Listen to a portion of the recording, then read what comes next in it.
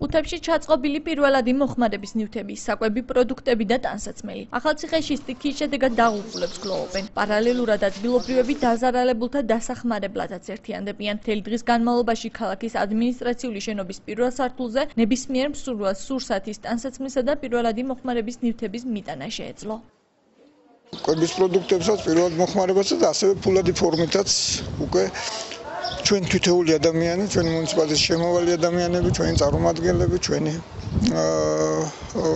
დეპუტატები ყველა მთელი საკრებულო ჩართული არის, რომ მოეხმარო და დავეხმარო. და თქვენ ხედავთ უკვე დაინახეთ, რომ უკვე დაწყებულია დილიდან უკვე მოდიან მანქანები სხვადასხვა სოფლებიდან ახალციხის მერმა დღესვე სპეციალური ბრიფინგი გამართა. მან თბილისის სტიქიის შედეგად დაზარალებული მოსახლეობის დასახმარებლად საზოგადოებას მიმართა. შედეგად დღის განმავლობაში ადმინისტრაციულ შენობაში პირველადი მოხმარების ნივთები და საკვები პროდუქტები შეგროვდა, რომელთაც ტრანსპორტირება მერია მუზმუნველყო. გიორგი კოპაძის თქმით, ადგილობრივი ბიუჯეტის სარეზერვო ფონდიდან დაზარალებულების დასახმარებლად თანხის გამოყოფაც იგეგმება.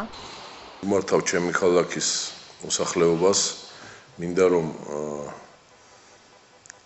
ყველამ ყველა ადამიანმა გაიზიაროს ის ტკივილი, რომელიც მიიღო ჩვენი დედაქალაქის მოსახლეობამ. ქალაქის მერიაში გახსნილია სპეციალური ადგილი, სადაც შეუძლიათ მოიტანოთ ის დახმარებაც გაქვთ გათვალისწინებული. თავარი არის რომ ერთად დავდგეთ და ახლა ამ მომენტში საჭიროა ეს ერთმანეთის გვერდში დგომა.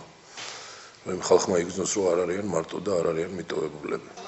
აქცია რამდენიმე დღის განმავლობაში გაგრძელდება. ადმინისტრაციულ შენობაში ნივთების მიტანა მსურველებს ისევ შეუძლიათ. ამასთანავე გაიხსნა ანგარიშის ნომერი, სადაც თანხის გადარიცხვაა შესაძლებელი.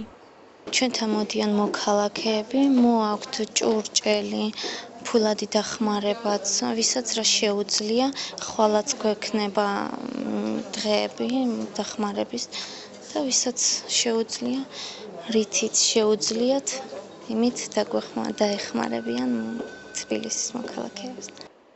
სტიქის შედეგად დაზარალებულთა დასახმარებლად აქციაში ტელეკომპანია მეცხრე არხით ჩაერთო. ადგილობრივმა მედია საშუალებამ თბილისში ჰიგიენური საშუალებები, პირველადი მოხმარების ნივთები, ტანსაცმელი და ჭურჭელი გააგზავნა. შეგახსენებთ, რომ 13 ივნისს უხვი ნალექის გამო გვიან ღამით მდინარე ვერ ეადიდდა, რის შედეგადაც 10-ზე მეტი ადამიანი გარდაიცვალა. მოქალაქეთა ნაწილს ამ დრომდე ეძებენ. ათობით ოჯახი კი უსახლკაროდაა დარჩენილი. ზოოპარკის დატბორვის გამო ვოლიერებიდან ცხოველები გაიქცნენ და ქუჩებში გაიფანტნენ.